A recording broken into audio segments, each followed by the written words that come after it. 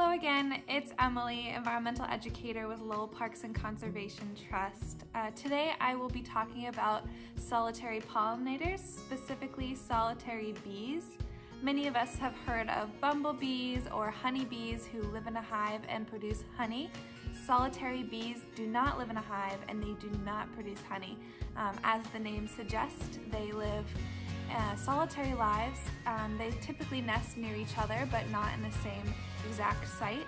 Uh, the three types of bees I will be talking about today are one, the carpenter bees, two, sweat bees, and three, mason bees.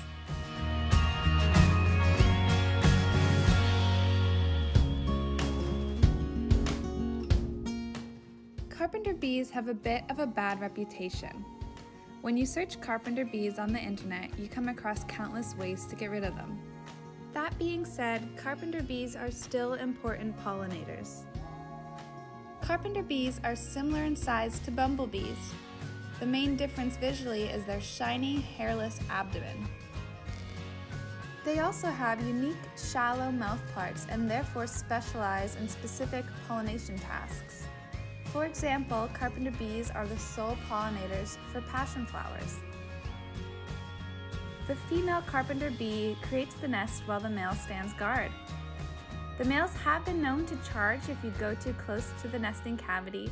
That being said, this display is all for show. The males don't even have stingers. The females do have stingers, though they are still considered docile and only sting if provoked.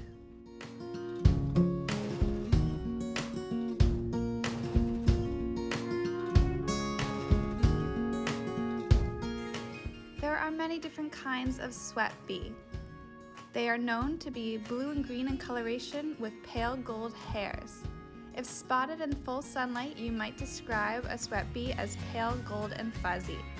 The one I chose to highlight for you has a bold green-blue coloration. They get their common name because they have been known to lick sweat off of humans. They are assumed to do this for the salt. Even with the sweat bee's bold nature, they are highly unlikely to sting. These bees nest in decaying wood and under bark, and often choose to nest in existing insect holes. Because of their chosen nesting sites, they make great forest pollinators. That being said, they can also pollinate crops adjacent to their nesting sites. They are considered generalist pollinators and frequent many different types of flowers, including inconspicuous flowers such as the walnut.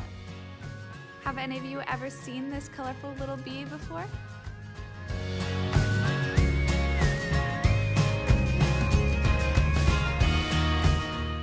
Last but not least, I'd like to highlight the blue mason bee. Mason bees themselves make up 25% of the world's bee population. This species nests in reeds and other natural holes, which makes it a great option for solitary bee hotels. The mason bee gets its name because it uses mud to plug up their nesting cavity, just like a brick mason building a house. The mason bee uniquely carries pollen on the underside of its abdomen and pollinates flowers each time it lands. The blue mason bee rarely stings, and even if it does, the venom is very mild, which makes it an ideal beekeeping bee.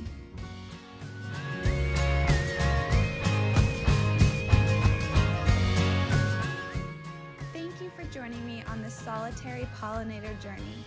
I hope you learned a little bit about some of our very special and important solitary pollinators.